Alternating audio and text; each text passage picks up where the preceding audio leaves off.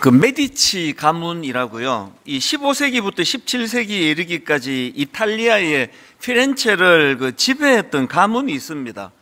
그 내용을 살펴보면 살펴볼수록 뭐 믿겨지지 않을 정도로 엄청난 영향력을 행사한 가문인데요. 그래서 이제 보통 이 메디치 가문을 소개하는 글을 보면은 뭐 이런 식입니다. 이 가문은 당시 세계 최고 부자 가문이 되었고 교황을 두 명이나 배출했으며 레오나르도 다빈치, 미켈란젤로, 갈릴레오 등 수많은 인물을 키워낸 가문이다. 뭐 이런 식으로 소개하기도 하고요. 또 그런가 하면은 또 이런 식의 소개도 있습니다. 이 가문은 중세의 낡은 시스템을 마감하고 르네상스라는 새로운 시대를 여는데 주역 역할을 했다. 이 가문은 무려 350년이라는 긴 세월 동안 르네상스와 예술에 이바지한 가문이었다. 그러니까 이 두 갈래로 뭐 엄청난 가문인데요. 뭐 그냥 뭐, 뭐 어마어마한 인물들이 여기서 다 배출이 됐다. 그리고 또 한 가지 이 가문이 가진 놀라운 점은 그 이 한 가문에서 거대한 중세의 낡은 시스템을 마감하고 르네상스 시대를 여는데 주역 역할을 했다. 그러니까 굉장히 큰 영향력을 행사했다. 이제 이런 식으로 강조를 하는데요. 그런데 사실 저는 제가 이제 이 메디치 가문에 대해서 관심을 갖게 된 데는 이 포인트가 좀 다른 데 있습니다. 이 사람의 마음을 얻는 법 이런 제목의 책이 있는데요. 이 책의 부제가 350년 동안 세상을 지배한 메디치 이야기 이렇게 되어 있습니다. 제가 이 책의 제목과 부제를 가지고 제 관심사로 이것들을 이렇게 엮어봤는데 뭐 이런 식으로 결론을 맺을 수 있습니다. 메디치 가문이 무려 350년 동안 세상을 지배할 수 있었던 것은 사람의 마음을 얻었기 때문이다. 실제적으로 이책 소개 글에도 보면은 똑같은 내용이 나옵니다. 사람의 마음을 얻는 자, 모든 것을 얻는다. 그 제가 이제 이 메디치 가문에 대해서 이런 생각을 하면서 요즘에 이제 좀 공부를 하고 있는데요. 왜 제가 이 메디치 가문에 대해서 관심을 갖게 됐냐 하니까 이 사람의 마음을 얻는 자, 모든 걸 얻는다. 이 정신이야말로 예수님께서 우리에게 가르쳐 주시는 기독교의 핵심 정신이라고 할 수 있지 않습니까? 그래서 이제 이 메디치 가문에 대하여 책을 읽어보고 또 자료도 찾아보고 해보니까요. 이 사람의 마음을 얻는 법이라는 책에서 저자가 이 메디치 가문의 실질적인 창업자입니다. 이름이 좀 길어요. 조반니 디 비치 데 메디치. 그래서 제가 이 수능 시험에 이런 거 나오면 진짜 힘들겠다. 이름이 막 외울 수가 없이 긴데요. 이제 이 메디치 가문의 창업자인 이분이 이제 어떤 그 철학을 가지고 그렇게 음, 엄청난 가문을 그렇게 만들게 됐나. 이게 저자가요. 그 사자성어 두 가지로 이분의 철학을 요약을 해 놓았는데 아, 굉장히 동의가 되더라고요. 하나는 뭐냐? 이 메디치 가문이 갖고 있던 그 가훈, 그 신조가 유약 겸하라는 사자성으로 요약된다. 유, 유약 겸하가 뭐냐 하니까 약하고 부드러우며 겸손하여 자기를 낮추다. 이게 유약 겸하예요. 그래서 이제 이 가문에서 갖고 있는 신조가 뭐냐면은 어, 너의 유능함을 드러내지 마라. 너의 유능함을 드러내지 말고 뒤로 감추어라. 온화해야 된다. 몸을 낮추어야 된다. 조용히 처신해라. 뭐 이런 게 이제 이 가문에서 굉장히 강조되는 그 포인트인데 이것도 예수님의 낮아짐의 정신하고 부합된다는 생각을 제가 해봤고요. 그런가 하면 또 하나 이 메디치 가문이 갖고 있던 두 번째 신조가 뭐냐 하니까 사자성으로 여민동락의 정신이라는 겁니다. 여민동락이란 이 백성들과 더불어 즐거움을 함께 한다. 이게 여민동락이거든요. 그래서 이제 이 메디치 가문이 갖고 있던 정신 중에는 이제 이 보통 사람들의 눈높이에다가 시선을 맞추어야 된다. 또 피렌체 시민들이 뭘 좋아하는지를 살펴서 그들이 좋아하는 것을 해야 되고 그들이 싫어하는 것은 추진하면 안 된다. 이게 이제 이 메디치 가문이 갖고 있는 기업 경영의 원칙이라는 겁니다. 이런 면에서 이제 이 메디치 가문이 갖고 있는 그 기업 경영의 대원칙은 이제 옳은 일을 하는 것, 옳은 일을 해야 된다는데 이들이 주장하는 옳은 일이란 게 바로 이 언제나 대중이 진심으로 원하는 것, 그들에게 필요한 것, 이거를 이제 해야 된다. 그래서 이제 이 경영 원칙이 사업을 하는 경영 원칙이 이제 이게 이게 이게 메디치 이 가문들이 갖고 있는 그 중심이 뭐냐면은 이 사람들에게 유익한 거, 사람들이 필요로 하는 거라면 이게 손해를 보더라도 이것들을 사업에 추진해야 되고 그리고 또 반대로 아, 이렇게 하면은 이제 이 수입이 많이 생기는 어떤 뭐가 있다 하더라도 이것이 이제 그 사람들에게 이게 별로 유익하지 않은 사람들이 원하지 않는 거라면 과감하게 포기했다. 그 제가 이제 이런 내용들을 쭉 살펴보면서 이게 이제 뭐 사람들한테 아부하자는 게 아니라 정말 이게 그 여민 동락의 정신이구나 이게 함께 즐거움을 함께 기쁨을 나누는 거. 그 저는 이제 이 내용을 가지고 쭉 그 공부를 하면 할수록 계속 한 장면이 이 머릿속에서 계속 지워지지가 않는 겁니다. 그게 어떤 장면인가 하니까 마가복음 3장에 나오는 안식일에 예수님께서 손마른 장애인을 고쳐주시는 그 장면이에요. 그 흐름 다 아시잖아요.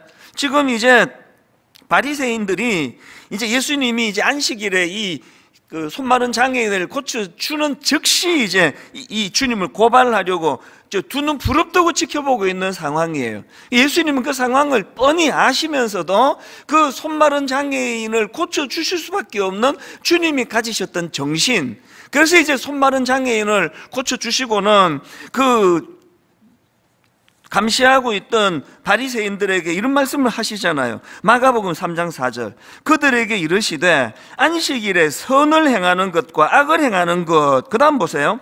생명을 구하는 것과 죽이는 것 어느 것이 옳으냐? 아까 그 메디치 가문이 사업 기업 경영의 대원칙으로 옳은 일을 하는 거다. 그리고 그들이 생각하는 옳은 일은 이게 사람들이 필요로 하는 거, 그 사람이 유익한 거, 이게 옳은 일이다. 그 정신하고 너무 부합되는 거 아닙니까? 저는 이런 맥락에서 지난 몇 주간 저의 목회를 돌아보고 한국교회를 돌아보면서 마음이 좀 아팠습니다. 지금 모든 분들이 다 알고 계시지만 기독교가 지금 위기라 그러잖아요. 왜 위기입니까? 사람들이 외면을 해요. 기독교에 대해서 매력을 못 느낍니다. 그 중에서 젊은이들이 더 민감하게 반응합니다. 기독교는 매력이 하나도 없다. 그 왜 이렇게 됐느냐? 저는 그 첫 출발이 예수님의 이 정신을 놓친 거거든요. 예수님의 근본 정신이 뭐였습니까? 이게 사람을 살리는 것, 사람을 옳은 길로 인도하는 것, 그 사람의 관심을 가지는 것, 이게 기독교의 핵심이거든요. 한국 교회가 70년대 갑자기 이제 막 이제 성장을 하면서 거기에서 굉장히 그 독소가 함께 들어왔다고 저는 생각을 합니다. 처음에는 뭐 그런 나쁜 의도로 그랬겠습니까만 막 이제 사람들이 몰려드니까 이 숫자가 중요해지는 거예요. 그래서 이제 뭐 요즘은 그런지 모르겠습니다만 옛날에 뭐 오랜만에 그 목사님들 만나면 관심사가 지금 몇 명 출석하느냐 어, 나쁜 의도로 묻는 건 아니지만 이 관심사가 이제 여기 좀 많아진 거 아닙니까?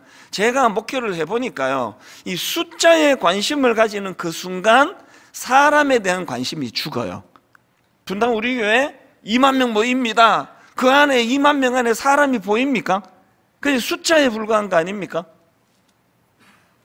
오늘 교회가 바로 이 사람에게 관심을 갖고 계시던 사람을 살리는 일에 모든 걸 거시고 그게 안식일이라 할지라도 그래서 이것 때문에 고발당한다 할지라도 그 손마른 장애인의 아픔을 외면할 수 없었던 것은 바로 이게 사람에게 관심을 갖고 계셨던 예수님의 그 중심인데요. 어느 순간에 이게 사람이 별로 중요해지지 않고 사람 숫자가 중요하고 그 숫자를 담을 수 있는 큰 건물이 중요하고 규모가 중요하고 그 이렇게 돼 가면은 이제 사람은 그 규모를 채우기 위해 동원된 도구에 불과해지는 거거든요. 제가 일만 성도 파송 운동 이후로 하나님이 제게 병을 주셨어요. 그 이게 그냥 뭐 멋지게 잘 이루어졌다. 29교회가 독립을 했다. 자립을 다 하고 있다. 이런 결과가 나와 있지만 저는 여전히 마음이 슬퍼요. 계속 슬픕니다. 왜 슬픈가 하니까 떠나가신 분들을 생각하면서 제가 여러 가지 이 잘못한 게 참 많은 게 자꾸 드러나요. 그게 어쩔 수 없는 상황이었지만 한 사람 한 사람을 소중히 여길 수 있는 상황이 아니었던 목회를 한 거. 그게 제 마음에 굉장히 지금 아픔이 되고 병이 되고 있습니다. 그래서 제가 내년에 분당 우리 교회에 가장 중요한 목회 방향을 환대, 이 환대로 잡을 수밖에 없었던 것도 여기에서 출발하는 거거든요. 오늘 본문을 저는 이런 관점으로 살펴볼 수 있다고 생각을 합니다. 자, 오늘 본문 창세기 18장 1절을 보십시오. 예수께서 마무레에 상수리 나무들이 있는 곳에서 아브라함에게 나타나시니라 날이 뜨거울 때에 그가 장막문에 앉아 있다가 이제 하나님께서 아브라함에게 나타나셨어요. 이건 이상할 게 하나도 없고 색다를 게 없습니다. 하나님은 늘 사람을 소중히 여기시고 사람에게 임재하셔요. 그 1절은 아무 뭐 특이한 게 없는데요. 2절이 굉장히 독특합니다. 하나님이 나타나셨는데 2절을 보십시오. 이제 아브라함이 눈을 들어 본적 사람 셋이 맞은편에 서 있는지라. 하나님께서 아브라함에게 나타나셨는데 사람의 모습으로 나타나셨어요. 그것도 나그네의 모습으로 나타나셨습니다. 그러니까 이 아브라함 입장에서 지금 무더운 한낮 뜨거운 땡볕 아래에 나그네 세 사람이 나타났기 때문에 그 중에 한 분이 하나님이시기 때문에 그래서 잘 대접한 게 아니에요. 그 나그네로 변장하고 오신 겁니다. 이 굉장히 독특한 상황이거든요. 그럼 이런 질문을 할 수 있잖아요. 하나님은 왜, 왜 이런 굉장히 독특한 왜 사람의 모습으로 그것도 한 땡볕에 여기 이 1절에 나오는 날이 뜨거울 때 이거를 그 원어로 직역하면은 한낮 가장 더운 시간이에요. 한낮 가장 더운 시간에 그러면 상상할 수 있죠? 막 그냥 막 땀이 막 비 오듯 흐르고 옷이 땀에 젖어 있고 지쳐 있는 그런 모습으로 하셨을 것 같은 이런 모습으로 왜 나타나셨나? 저는 이런 질문에 대하여 우리가 좀 살펴보려면요. 1절을 유의해서 보셔야 되는데 1절을 다시 보십시오. 여호와께서 마무레의 상수리 나무들이 있는 곳에서 아브라함에게 나타나시니라 날이 뜨거울 때에 그가 장막문에 앉아 있다가 이게 우리말 번역으로는 좀 강조점이 없이 애매하게 번역이 되어 있는데요. 이 원어로 보면은 강조점이 확 두드러져요. 그래서 이 1절 말씀을 원어로 보면 시작이 이렇게 시작합니다. 하나님께서 아브라함에게 나타나셨다. 이렇게 시작을 하세요. 근데 여기서 중요한 게 뭐냐면은 우리말 성경에는 생략 된 의미가 있는데요. 그 의미를 살려서 읽으면 여기에 접속사 그러나를 넣어야 돼요. 그래서 이거를 더 원어에 가깝게 이거를 직역하자면 이렇게 할 수 있습니다. 그리고 하나님께서 아브라함에게 나타나셨다. 이 그리고라는 접속사가 있다는 말은 이게 이제 A 문장과 B 문장이 연결이 돼야 되는 거잖아요. 그러면 당연히 18장 1절 바로 앞에 무슨 내용이 있었지? 이 관심을 가질 수밖에 없거든요. 그게 바로 18장, 아, 17장 그 앞에 나오는 17장 맨 마지막 구절입니다. 26절, 27절을 보십시오. 그날에 아브라함과 그 아들 이스마엘이 할례를 받았고 그 집의 모든 남자 곧 집에서 태어난 자와 돈으로 이방 사람에게서 사온 자가 다 그와 함께 할례를 받았더라. 그리고 하나님께서 아브라함에게 나타나셨다. 어떤 모습으로? 나그네의 모습으로. 이 흐름이 이렇게 되는 거예요. 자, 그러면 하나님이 왜 나그네의 모습으로 그렇게 뭐제 표현으로 변장하고 나타나셨나? 그렇게 질문을 던져본다면 할례 받은 이후에 아브라함의 태도를 점검해 보러 오신 거라는 거예요. 테스트 해 보시러.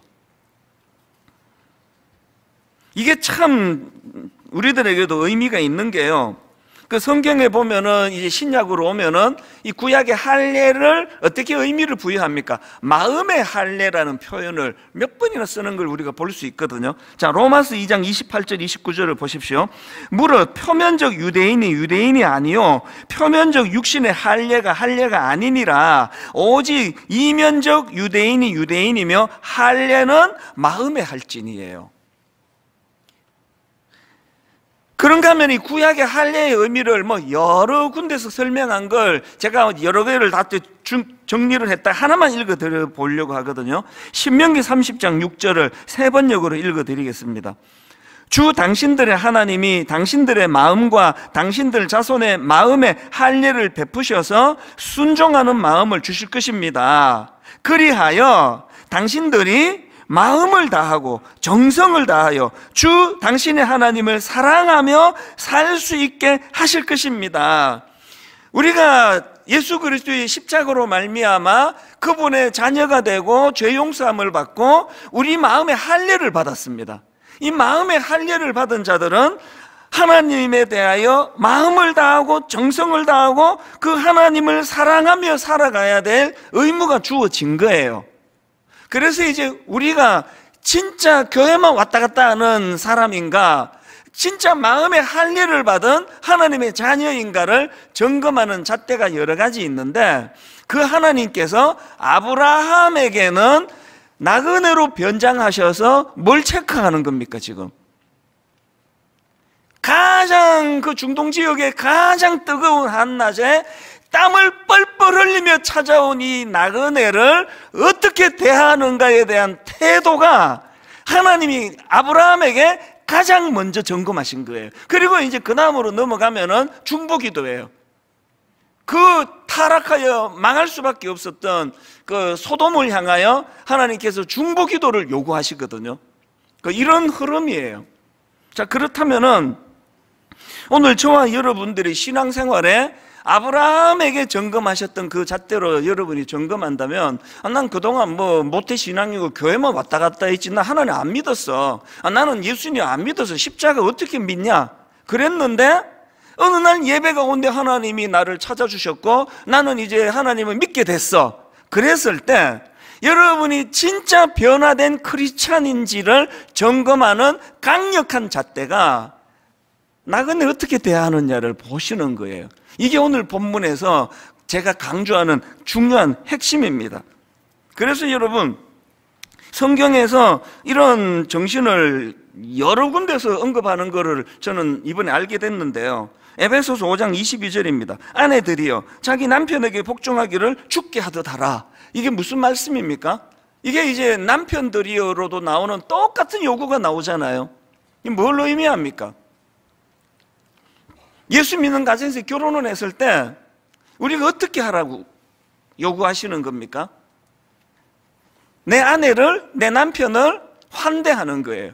온 정성을 다해서 섬기는 거예요.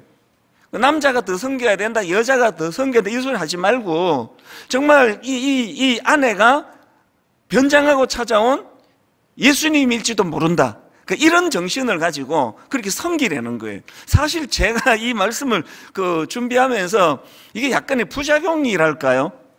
무슨 생각이 자꾸 드는가 하면 제가 이제 낮 동안에 주중에는 어 상담이나 교역자랑 이제 면담이나 뭐 이제 이런 것들을 주로 하지 않습니까? 그래서 이제 뭐 예를 들면 이제 어 오후에 이제 2시에 한 팀을 약속을 하고 또 3시에 또 어떤 분과 약속을 하고 4시에 어떤 분과 약속을 하고 또때 5시에 약속을 하고 이렇게 막 촘촘하게 잡을 때가 있습니다. 뭐 매일매일 그런 건 아니지만 그러면 이제 2시에 이제 어떤 분을 만나서 제가 상담을 하고 나면 그분이 가시면 요 근래 자꾸 이런 생각이 들어요. 혹시 변장하고 하나님이 다녀가신 건가? 그럼 내 어떻게 상담을 했어야 되지? 내좀 이게 무성의한 거 아닌가? 그러니까 이런 생각이 쑥쑥 드는 거예요. 그래서 이제 2시에 하고 3시에 다른 사람하고 4시에 어떤 분 상담하고 5시에 하면은 어떨 때는 피곤해요. 이게 막 그냥 어떨 때 화장실도 못 가요. 바로 나가고 바로 들어오고 바로 나가시고 바로 들어오시고 이렇게 해야 되다 보니까 막, 막 화장실도 가야 되고 좀 지치고 막 이러면은 또 이제 이렇게 하고 집에 가면은 또 제 아내가 반드시 이렇게 말해요. 오늘 말 많이 했죠. 목소리에서 이제 말 많이 한 게 답도 배인데요. 그래서 제가, 아, 이 5시 스케줄은 다음으로 미룰 걸 그랬나? 아, 그러면 요, 요 근래 자꾸 이런 생각이 들어요. 5시에 변장한 예수, 주님이 오실지도 모르는데, 그 이게 이제 제가 이 말씀을 계속 묵상하면서 우리가 하나님 앞에 이 사람들을 대하고 사람들을 상대할 때 이 정신으로 하자는 거예요. 그래서 아내를 대하고 남편을 대할 때 정말 어, 죽게 하듯이 해라. 그리고 또 골로새서 3장 23절도 마찬가지입니다. 무슨 일을 하든지 마음을 다하여 죽게 하듯 하고 그다음 보세요. 사람에게 하듯 하지 말라. 그래서 제가 내년에 분당 우리 교회에 강력한 교회 목표를 환대로 잡은 거, 환대. 우리가 그동안 뭐 은혜 받는다 그래서 뭐 예배 시간에 막 꽉꽉 모여가지고 막, 막 찬양하고 기도는 많이 했는데 우리가 이 하나님의 테스트에서는 분당 우리 교회 반드시 저는 이게 실패했을 거라고 생각을 해. 사람에게 관심을 별로 주지 못하는 상황이었습니다. 그게 또 핑계거리가 됐는데 이걸 내년에 한번 뛰어넘어 보자는 거예요. 제가 여러분 이번 그 성탄절을 맞이해서 교회적인 행사 지금 많이 안 하고 있는데 한 가지 꼭 부탁을 드리고 싶어요. 여러분 이번 성탄절 날 전후로 혹은 뭐 성탄절 이후에 연말이라 할 때 꼭 주변에 여러분 한 사람이나 한 가정이나 우리 다락방이나 여러분 가정으로 좀 초대하실 수 없을까요? 이번에 한번 이거 실천해 보시면 어떨까요? 그 중에도 좀 소외받는 사람, 좀 세상의 약자, 오늘 본문에 우리 하나님이 변장하고 오신 것 같은 땀을 뻘뻘 흘리는 좀 지쳐 보이는 어떤 약한 사람, 그런 분들을 우리 가정에 한번 좀 초대하시는 일을 한번 해보면 어떨까요? 그게 성탄절의 정신 아닐까요?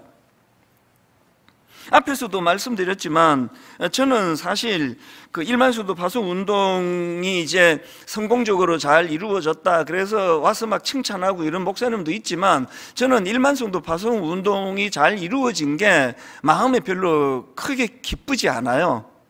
왜냐하면 이 자체가 기쁘지 않다는 게 아니라 오히려 이 일 때문에 내가 겪어야 되는 슬픔이 더 크기 때문이에요. 그렇게 이제 떠나가 버린 분들이 더 기회가 없는데 제가 그분들에게 제대로 섬기고 대접을 잘 했나?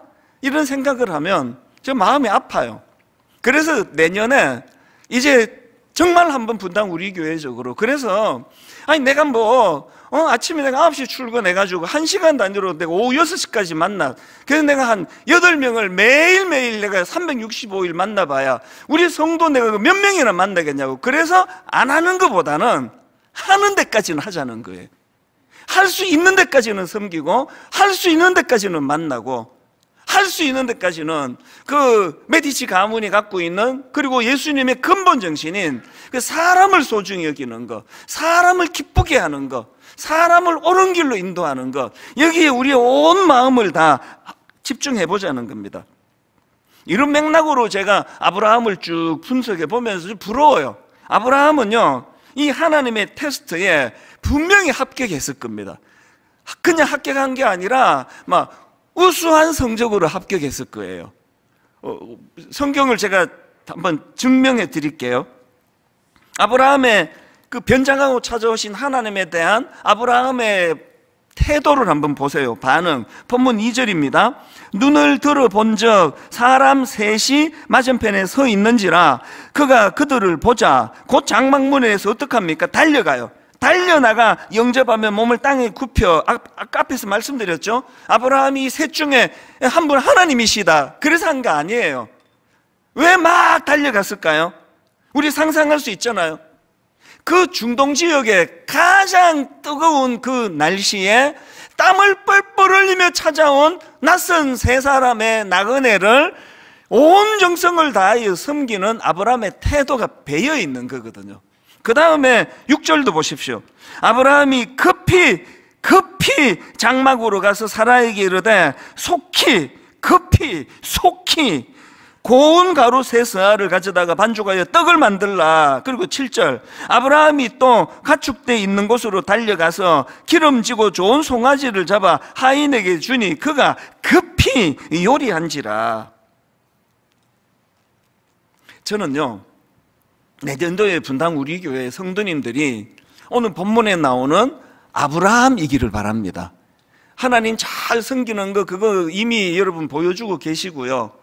정말 변장하고 오신 하나님을 못 알아본 아브라함이지만 그 땀을 뻘뻘 흘리며 뭔가 지쳐 보이는 그 나그네들에 대하여 정성을 다하여 섬기는 태도 우리 모두 고백해야 돼요. 한국 교회가 이게 좀 부족했습니다. 그래서 세상 사람들이 보면 하여튼 저것들은 입만 살아가지고 말 갖고 다 하지 말 갖고 그런 부끄러운 고백을 들었던 게 오늘 한국교회 현실이에요. 이걸 우리가 한번 이제 주님 앞에 이 테스트를 내년에 해보자는 겁니다. 꼭 막 교회 사람들 초대해가지고 대접해라 이거 아닙니다. 내가 만나고 내가 접하는 그게 우리 수고하는 경비 아저씨라 할지라도 이게 또 우리가 섬겨야 되는 어떤 주변의 어떤 무명의 어떤 대상이라 할지라도 저는 내년에 분당 우리 교회 목표가 저는 분당 우리 교회가 환대의 집이 되기를 원합니다. 환대의 집. 누가 이 교회를 찾아오든지 뭐 처음 오든지 창립 때부터 오셨던 분이든지 그런 거 구분 짓지 않고 서로 환영해 주고 예배 드릴 때만 뭐 형제 사랑 이런 게 아니라 주차장에서부터 언제든지 넉넉하게 내 뒤에 차를 나보다 먼저 가도록 양보해 주는 이런 환대하는 거. 그 이런 것들이 교회에 문화로 자리 잡게 하는 게 그게 제 꿈이고요. 그런가 하면은 또 분당 우리 교회가 갖고 있는 지금 추진하고 있는 가평 우리 마을. 이게 지금 허가도 잘 안 되고 생각지도 못한 복병들이 막 계속 나타나서 이게 막 계속씩 늦어져서 이것 때문에 내가 막 병이 생길 지경이었는데 근래에 내 생각을 바꿨습니다. 하나님께서 이 가평 우리 마을 오픈을 계속 늦추어 주심으로 진짜 원하는 일들이 이루어져 가기를 하나님 원하시는데요. 근래에 가평 우리 마을의 방향을 아주 잘 잡았습니다. 여러분, 분당 우리 교회 추진하는 가평 우리 마을은 하나님의 환대가 이루어지는 되기를 그렇게 지금 준비하고 있습니다. 하나님의 환대를 경험하는 것. 그래서 지친 이들의 쉼터로서 준비를 하고 있습니다. 간단하게 제가 가평 우리 마을의 목표를 좀 나눌 테니까요. 이거 여러분 기도 제목으로 삼아 주세요. 저는 이제 가평 우리 마을을 뭐 좀 어설프지만 저 나름대로 이제 여러 가지 목표를 이루기 위해서 100번대, 200번대, 300번대로 그렇게 구분해 봤습니다. 가평 우리 마을에서 100번대는요. 한마디로 말하면 우리 우리 청년들이 잘 쓰는 표현으로 내 돈 내산입니다. 내가 가서 내가 내 돈으로 커피 사 마시고 내가 내 돈으로 숙박하고 이게 100번 되고요. 근데 가평 우리 마을에서 중요한 건 200번 됩니다. 200번 대가 뭐냐? 이게 이제 너무나 지쳐 있는 분들. 예를 들어서 우리 장애인 부모님들, 특히 우리 장애인 어머니들은 참 더 많은 수고가 필요한 자녀를 하나님이 주셨기 때문에 많이 지쳐 계세요. 그래서 지금 저는 꿈을 꿔요. 가평 우리 마을에 200번대. 이제 지쳐 있는 장애인 부모님들을 거기에 어떤 대가도 받지 않습니다. 그분들을 초대해서 가평 우리 마을에서 1박 2일로 혹은 어떨 때는 좀 더 많은 쉼이 필요한 분들에게는 2박 3일로 극진히 대접하는 프로그램을 준비하고 있습니다. 또 그런가 하면 환대가 필요한 또, 또 그 부부가 계시거든요. 미자리 교회 목사님과 사모님. 제가 참 마음 아픈 이야기를 들었는데요. 미자리 교회 사모님들의 60%인가 70%가 우울증이래요. 그만큼 지쳐 있다는 거거든요. 이분들을 가평 우리 마을에서 계속 이제 어떤 그 프로그램을 우리가 만들어서 다, 다는 못하지만 하여튼 이분들을 일정한 숫자를 초대를 해서 가평 우리 마을에서 쉬게 해드리는 거 이게 200번대예요. 또 여러분 또 이 시대에 너무나 지쳐있는 어떤 그룹이 있다. 그거 알려주시면 누구를 망나하고 초대해서 어떤 그 뭐 회비 이런 거 없이 완전히 섬겨드리는 이런 것들이 가평 우리 마을에서 이루어지기를 꿈꾸고 있습니다. 그 다음에 이제 300번대는 제가 이름을 이렇게 적어봤습니다. 공익대요. 가평 우리 마을은요, 일반 교회의 수련회 장소로 우리는 빌려주지 않습니다. 않을 거예요. 그런데 100명 미만의 개척교회 수련회 장소로 적합하도록 공간을 그렇게 만들어 놓은 데가 있습니다.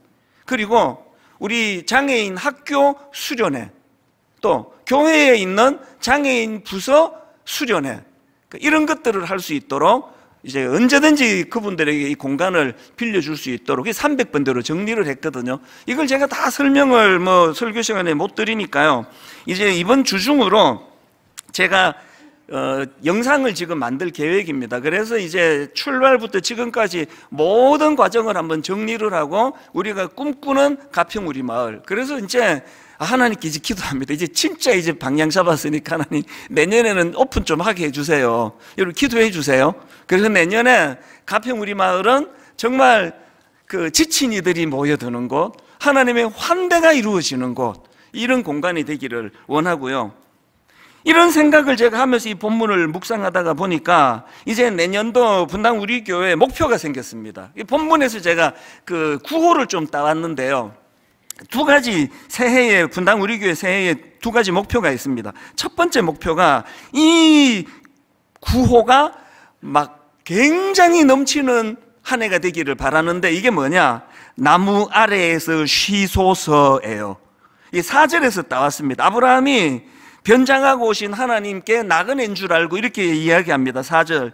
물을 조금 가져오게 하사 당신들의 발을 씻기시고 나무 아래에서 쉬소서. 이거는요, 너무 강렬한 그 떼양볕 아래 지쳐 있는 육신을 배려해 주는 표현이에요. 그래서 나무 아래에서 쉬소서. 이 지친 몸의 필요를 채워주는 환대라면 두 번째 우리 교회에서 난무하기를 바라는 구호가 이겁니다.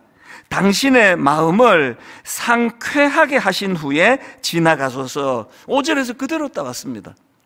내가 떡을 조금 가져오리니 당신들의 마음을 상쾌하게 하신 후에 지나가소서. 이 사절이요. 나무 아래에서 쉬소서. 이게 지친 몸을 배려하기 위한 그런 환대라면 5절은 우리 인간은요 영, 영혼을 가진 동물이에요.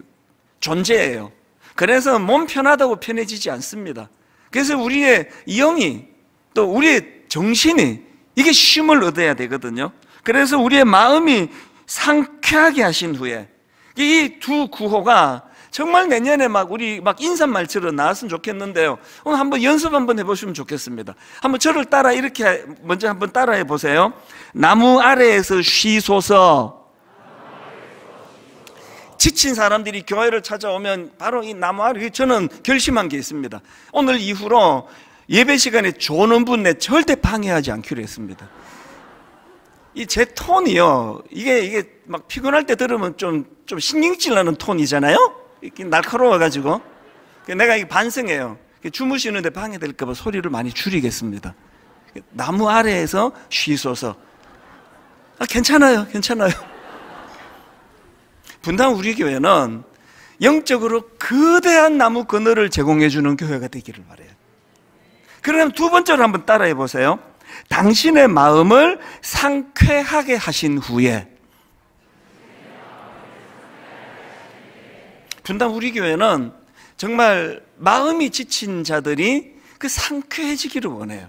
그래서 이 교회에서 온전한 회복이 일어나고 그리고 힘을 얻는다면 그렇게 또 우리가 세상을 섬기고 이웃을 돕고 또 또 다른 차원에서 어, 작은 교회들을 섬기고 이렇게 갈 수 있다고 저는 보거든요. 그런 면에서 분당 우리 교회는 내부적으로는 이제 쉼터가 되기를 원하고요. 하나님의 환대가 경험되어지기를. 그래서 내년에는 막 가정 가정으로 좀 어지간하면 식사 초대하고 차 마시러 가고 교제가 이루어지고 요즘에 현대인들이 가정을 개방 안 하잖아요. 내년에 진짜 제가 이 캠페인을 할 생각입니다. 그런가 하면 한 가지 더 있습니다. 원래 일만소도 파수 운동이 잘 이루어졌는데요. 이 정신은 계속 흘러가야 됩니다. 그저 이제 뭐 우리 할 일 했고 우리끼리 한번 잘, 잘 살아보자. 이거 안 됩니다. 그래서 저는 내년에요. 이미 예고해 드렸잖아요. 이제 열한 교회를 이제 이미 개척한 교회 중에 조금만 더 후원해 드리면 세우 잘 부흥하게 될 열한 교회를 지금 진행 중에 있습니다. 그런데요. 이 열한 교회를 이제 지금 그 선정을 해가는 과정에서 많은 목사님들이 이렇게 이야기를 해요. 목사님, 어, 물질적으로 후원해 주는 것도 고맙지만 우리가 진짜로 필요한 거는 목회 철학을 배우는 겁니다. 교회론을 배우는 겁니다. 세미나 좀 열어주세요. 그래서요, 원래 12월 말에 이제 이거를 선정하기로 결정을 했다가 한 석 달을 미루었습니다. 내년 3월 1일 날, 3월 첫 주일 날 이제 결정하는 걸로 하고 이번 겨울에 이 목사님들을 초대해서 세미나를 열기로 했습니다. 이분들에게 분당 우리 교회의 노하우를 전수해 드리고 싶은 거예요.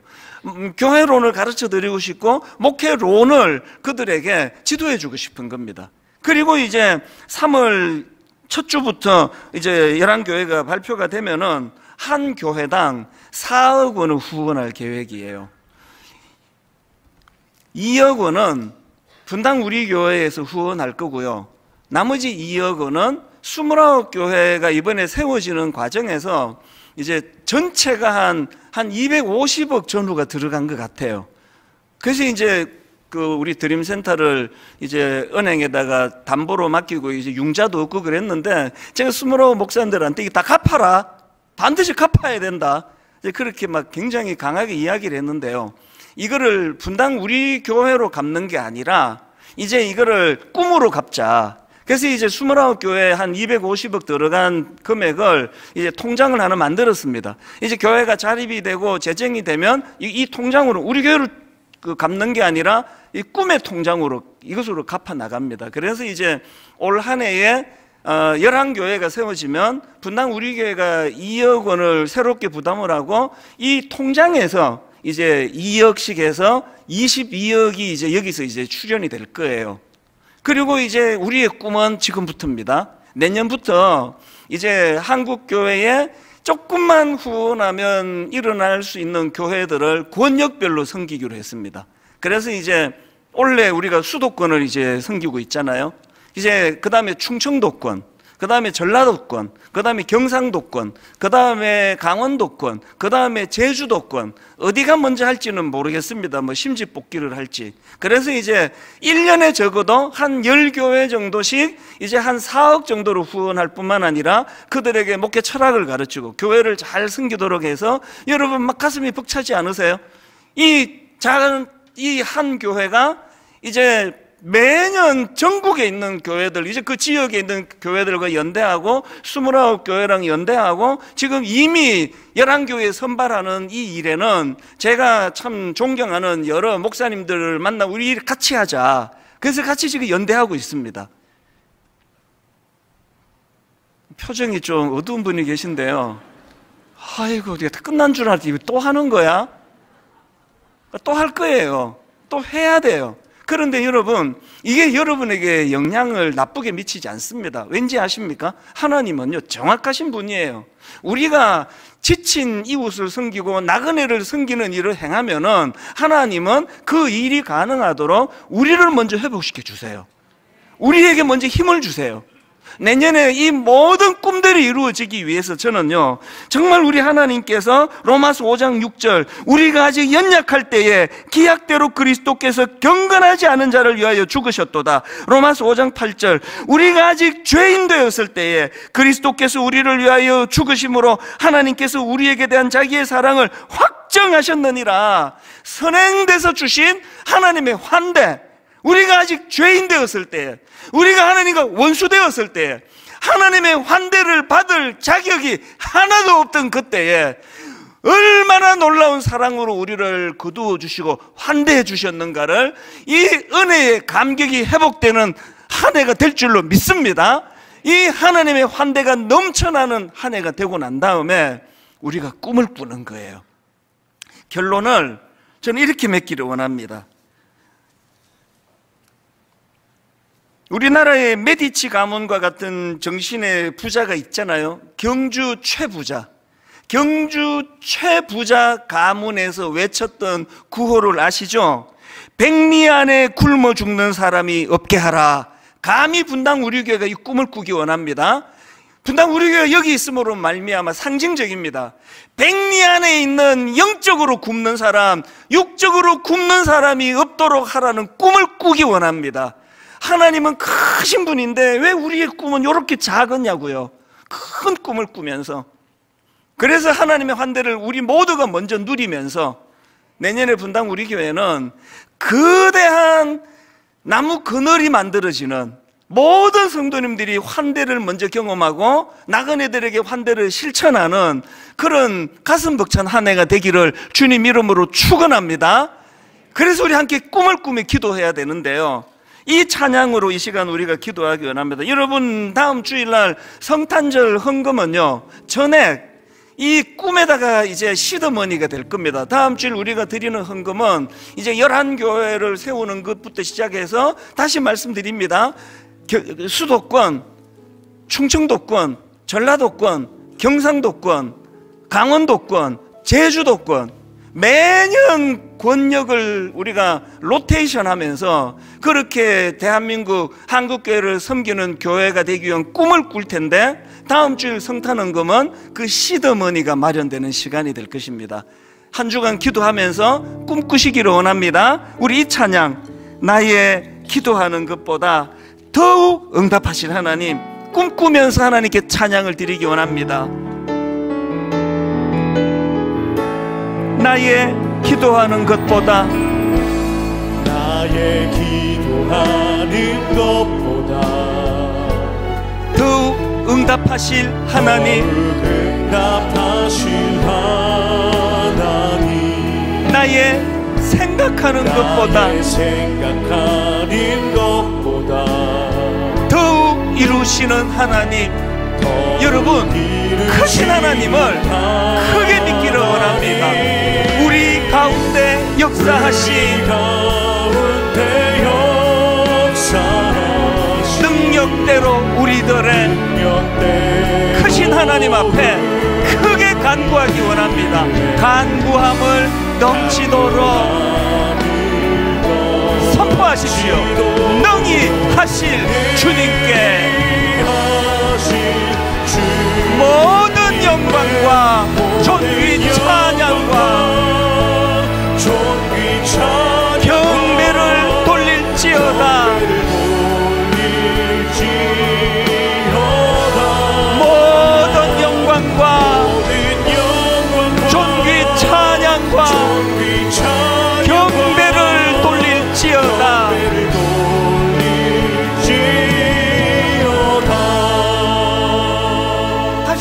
시 한번 찬양하기 전에 여러분 이 귀한 가사를 흘려보내지 않았으면 좋겠습니다.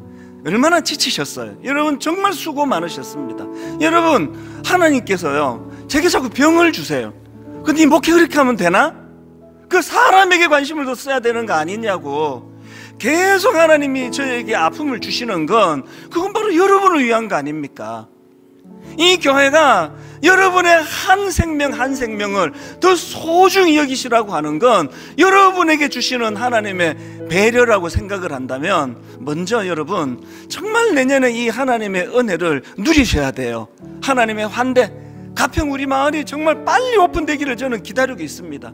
그곳에서 지친 이들의 쉼터가 되기를 원하고 우리 장애인들, 부모님들 그곳에서 자녀 기르느라 수고한 분들이 참 초대받아서 정말 대접을 받아 누리는 이런 일들 우리 미자리 교회 음, 사모님들, 목사님들 그리고 우리가 해야 되는 이제 권역별로 작은 교회들이 참 불같이 일어나는 일을 돕는 그 일들을 우리가 해야 된다면 저와 여러분이 먼저 하나님의 환대의 감격을 누리셔야 돼요.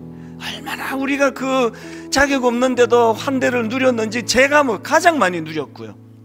우리 찬양 한 번 더 부르실 동안에 우리 크신 하나님을 좀 크게 찬양하고 크신 하나님 앞에 좀 더 큰 꿈을 꾸고 크신 하나님 앞에 큰 기도 제목을 가지고 그렇게 달려가기를 원합니다. 우리 한번 이 찬양 간절하게 마음을 다하여 하나님께 올려드리기 원합니다. 나의 기도하는 것보다 나의 기도하는 것보다 더욱 응답하실 하나님 더욱 응답하실 하나님 크신 하나님을 크게 찬양합니다. 나의 생각하는 것보다 더욱 이루시는 하나님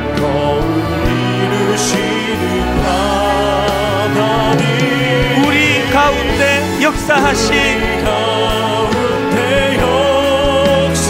능력대로 우리들의 능력대로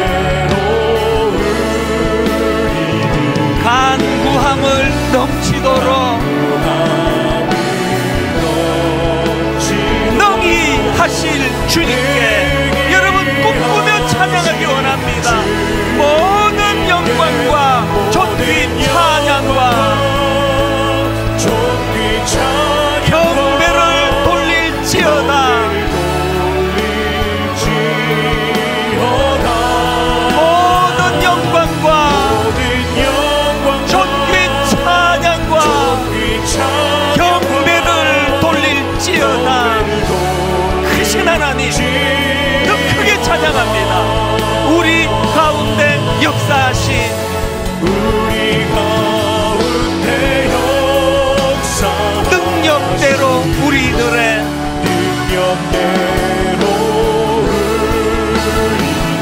간구함을 넘치도록 능히 하실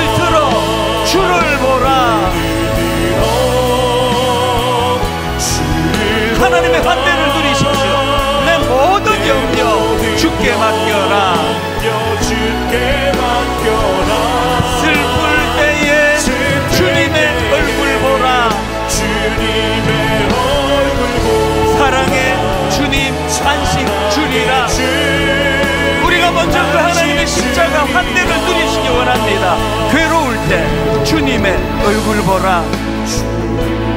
얼굴 보라 영마의 주님 바라보아라. 지치고 피곤하고 시달린 주님의 형제 자매들 세상에서 시달린 친구들아. 하나님의 환대를 누리시기 원합니다. 위로의 주님 바라보아라. 바라보아 눈을 들어 주를 보라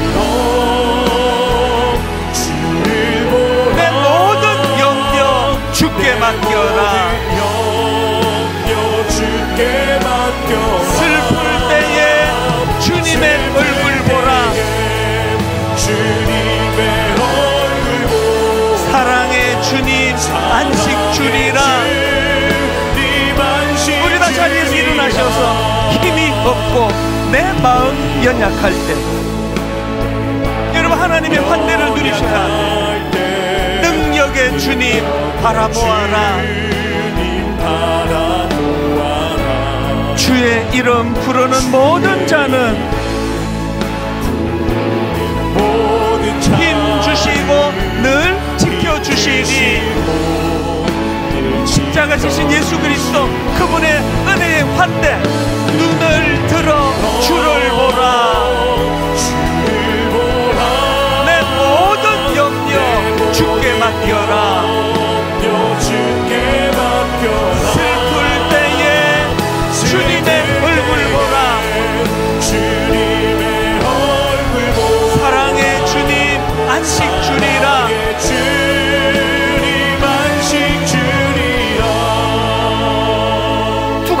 기도합니다. 자격 없던 그때, 우리가 하나님, 우리가 연약할 때, 우리가 하나님과 원수되었을 때, 하나님이 어떤 영적인 환대로 우리를 거두어 주셨던가. 올 한 해 아버지 아브라함에게 테스트하신 그 하나님의 그 놀라우신 사랑이 분당 우리 교회 안에서 일어난다고 할 때 그 혜택을 내가 누리게 되는 줄 믿습니다. 아버지 그 일을 위하여 먼저 내가 회복되기 원합니다. 내가 하나님의 환대를 누리고 맛보게 하여 주시옵소서. 두 번째 기도 제목. 그런 하나님의 환대의 은혜의 감격이 일어난다면 가두어 두지 않고 흘려보내기 원합니다. 분당 우리 교회는 거대한 나무 그늘이 되기 원합니다. 영적으로. 분당 우리 교회는 환대를 베푸는 그런 교회가 되기 원합니다. 이 두 가지 제목 가지고 우리 합심해서 통성으로 같이 기도하시겠습니다. 하나님 아버지, 오늘 아버지 아브라함을 찾아가 주신 하나님, 사람의 모습으로 하나님 지친 나그네의 모습으로 아브라함을 찾아가 주신 하나님.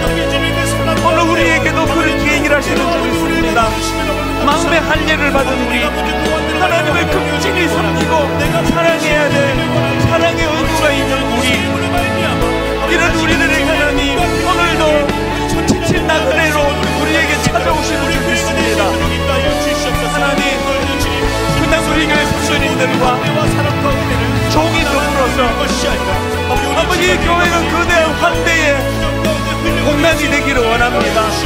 살아계신 하나님 아버지 살아계신 하나님을 사랑으로 아버지 대접받는 교회가 되기를 원하는데 그것이 바로 아버지 하나님 나그네의 모습으로 찾아오신 하나님이십니다.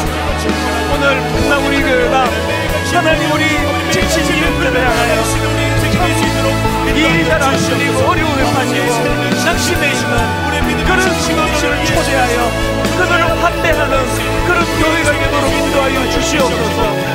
살아계신 하나님 분당에게는 그러한 나무들이 되기 원합니다 나무 안에서 쉬어서 당신의 마음을 상쾌하게 하신 후에 그렇게 떠나가소서. 하나님 이런 부모님 마음에서 너무 사랑으로 주님 인도하여 주시옵소서 하나님 지난 한 해 돌아보면 수많은 때마다 이 하나님의 그 시간에 내가 정해서 아버지 기억하며 나가기를 원합니다 새해에 이 꿈을 가지고 나아가도록 인도하여 우리 교회가 될수 있도록 음악이 될수 있도록 주여 인도하여 주시옵소서.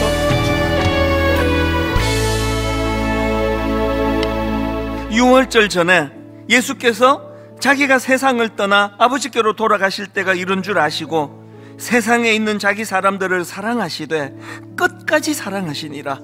하나님 아직 연약할 때 아직 죄인 되었을 때에 하나님 이 놀라운 끝까지 사랑하시는 그 하나님의 사랑으로 우리가 환대받으며 여기까지 왔습니다. 때로는 자격을 잃어버리고 기회가 더 이상 있을 수 없는 상황에 우리가 변질되어 흘러갔다 하더라도 주님은 끝까지 우리를 붙들고 계셨기에 종이 이 자리에 설 수 있고 성도님들이 이 자리에 서서 예배를 드립니다. 새해에 이 은혜의 감격이 먼저 회복되게 하여 주시옵소서. 모두가 지치고 모두가 피곤하고 모두가 너무나 힘든 오늘 이 시대를 살아가는 저희들에게 아버지 먼저 주님의 은혜를 받은 자가 먼저 손을 내밀고 환대하게 하여 주시옵소서. 먼저 은혜를 받은 그 자가 먼저 회복을 경험한 자가 내미는 그 손으로 아버지 지친 많은 성도님들이 영혼들이 이곳에서 쉼을 누리는 그래서 하나님 참으로 우리 교회가 꿈꾸며 나갈 때에 하나님 분당 우리 교회는 거대한 그늘을 제공하는 그런 나무가 되게 하여 주시옵소서. 가평 우리 마을에서 아버지 일어난 일들을 꿈을 꿉니다. 그곳이 지친 이들의 쉼터가 되게 해주시고 그곳이 하나님의 환대를 맛보고 경험하는 동산이 되도록 무엇보다도 하나님 지쳐있는 자들에게 참 조건 없이 섬기고 베푸는 그런 동산이 되도록 주님이 인도하여 주시옵소서. 이번 한 주간 이 소망으로 그렇게 기쁜 가운데 한 주를 승리하는 아름다운 한 주 되도록 인도하여 주시옵소서